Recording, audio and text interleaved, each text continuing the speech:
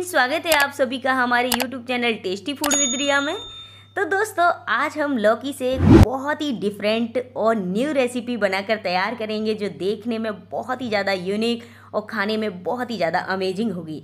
तो हाँ दोस्तों, आज हम लौकी से बनाएँगे पनीर जैसी घर पर बिना मेहनत, बिना पैसे खर्च किए सब्ज़ी, और वो भी बहुत ही ज़्यादा टेस्टी तो दोस्तों, आप मेरी वीडियो को एंड तक ज़रूर देखना। तो चलिए शुरू करते हैं। इसे बनाने के लिए मैंने यहाँ पर एक कच्चा लौकी लिया है। अच्छे से नाखून चुबाकर देख लें। लौकी में बीज नहीं होने चाहिए।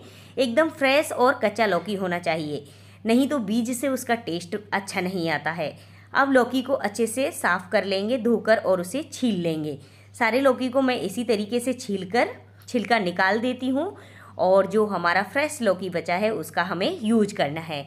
तो लौकी के छोटे छोटे पीसेस कर लेते हैं। पहले हम तो देखिए, बहुत ही अच्छी तरीके से मैंने इसको चेक करके लिया था। इसमें बिल्कुल भी बड़े बीज नहीं हैं, कच्चा है।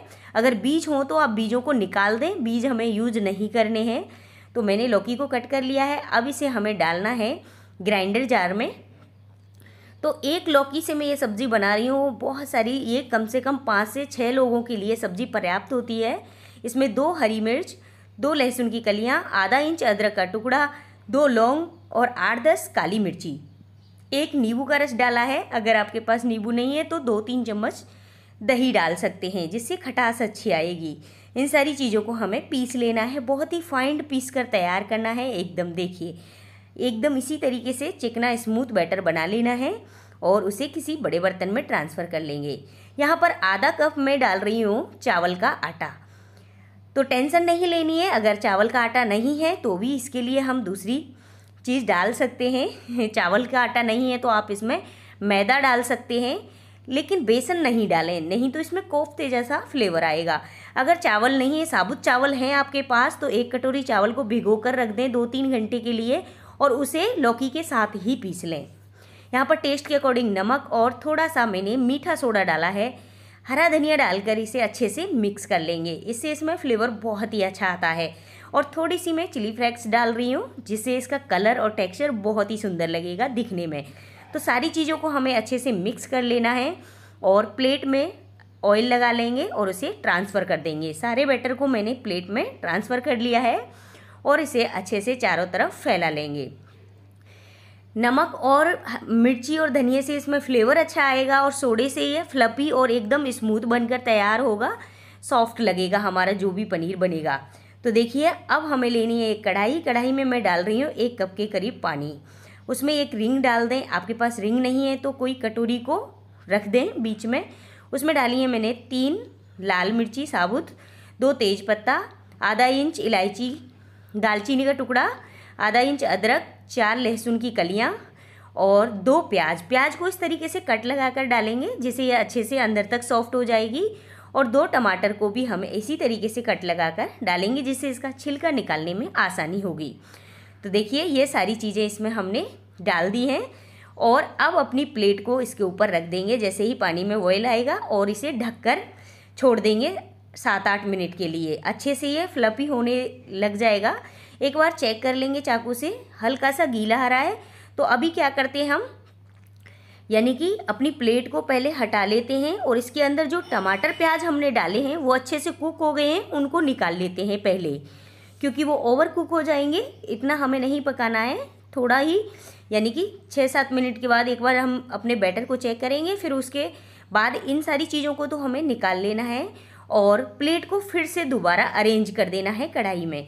और ढक करके फिर से दो तीन मिनट और स्टीम करेंगे। जब ये अच्छे से क्लीन निकलने लग जाएगा, चाकू या स्टिक जो भी आप चेक करने के लिए यूज़ कर रहे हैं, इतना हमें कुक करना है इसे। तो देखिए, अभी अच्छे से हमारा ये बैटर है, वो कुक हो गया है, अच्छे से फूल गया है और इतना ही कुक करना है हमें। चावल और घिया है, इसलिए ये हल्का सा चिपचिपा ही रहेगा। इसे ठंडा होने के लिए छोड़ दिया है और जो टमाटर और प्याज को हमने कुक किया था, उनके छिलके निकाल लेते हैं।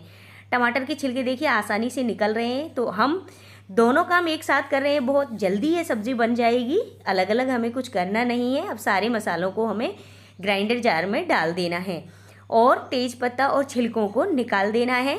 उनका फ्लेवर आ चुका है और इसे अच्छा सा पीस कर तैयार कर लेंगे। तो देखिए, मसाला हमारा पीस कर तैयार है और देखिए, प्लेट पे जो बैटर हमने स्टीम किया था, वो अच्छे से ठंडा करना है। ये खुद ब खुद ही अपने आप प्लेट को छोड़ने लग जाएगा। बहुत अच्छे से स्टीम हो गया है। अब इसको हमें छोटे छोटे पीसों में कट करना है। जैसे पनीर के पीसेज बनाते हैं छोटे छोटे वैसे ही पीसों में मैं इसे कट कर रही हूँ। आप चाहें तो इसे बड़े पीसों में भी कट कर सकते हैं, जैसी भी आपकी चॉइस हो। तो अब देखिए, सारे पीसों को हमें कट कर लेना है। बस यही ध्यान रखना है कि बैटर हमारा अच्छे से ठंडा हो जाए, तभी कट करेंगे। और चाकू में हल्का सा ऑयल लगा लें, जैसे कि चिपकेगा नहीं। तो देखिए, बहुत ही सॉफ्ट बना है ये हमारा देखिए, एकदम सॉफ्ट सॉफ्ट कतली बनी है। अभी इसको हमें थोड़ा सा और टेक्सचर देना है, यानी कि टेस्ट को और इन्हेंस करना है। तो सारे पीसों में मैं हल्का सा चावल का आटा कोट करके इसे फ्राई कर रही हूँ, जिससे इसका टेस्ट है वो और ज़्यादा बढ़ जाएगा। आप चाहें तो ऐसे ही सादा डाल सकते हैं, बिना फ्राई किए भी। वो भी बहुत ही टेस्टी सब्ज़ी बनती है, लेकिन इसे फ्राई करके थोड़ा और भी इसका टेस्ट इन्हेंस हो जाता है। तो देखिए, लग रहे हैं ना, बिल्कुल पनीर जैसे पीसेस हाँ तो इनको इसी तरीके से हल्का हल्का रोस्ट करके हम निकाल लेंगे कढ़ाई से। तो सारे पीसेस को मैं ऐसे ही डालकर एक बार ऑयल में हल्का सा, यानी कि भून लेती हूँ। हल्का जैसे ही गोल्डन कलर आने लगेगा, इतना हमें इन्हें पकाना है।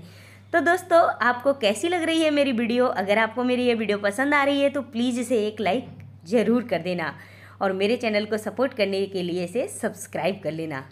तो देखिए, अब इस ऑयल में हम डालेंगे कुछ मसाले, जैसे एक चम्मच जीरा डाला है मैंने, और सारे खड़े मसाले हमने बैटर में मिला लिए थे, पहले ही पीसते टाइम तो कुछ नहीं डालना है। अब जो हमने टमाटर प्याज का पेस्ट बनाया था, उसे डाल देना है, और लगातार चलाते हुए दो तीन मिनट हमें उसे कुक करना है, जब तक कि ऑयल रिलीज़ ना होने लगे।